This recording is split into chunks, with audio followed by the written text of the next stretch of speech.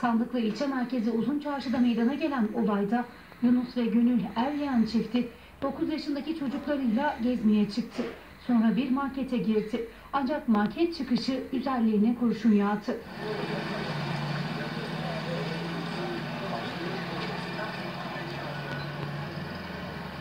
Market çıkışında amcaları Nece ile karşılaşan çift niye uğradığını şaşırdı.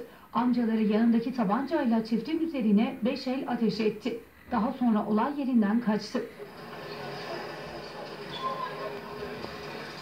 Çevredeki vatandaşın ihbarı üzerine olay yerine polis ve sağlık ekibi geldi. Yaralı Eryeğen çiftine müdahalede bulundu.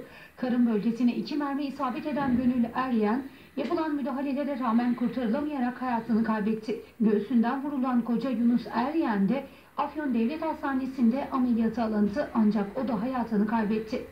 Zanlı NÇS olaydan yaklaşık yarım saat sonra olayda kullandığı tabancayla birlikte polis ekiplerine teslim oldu.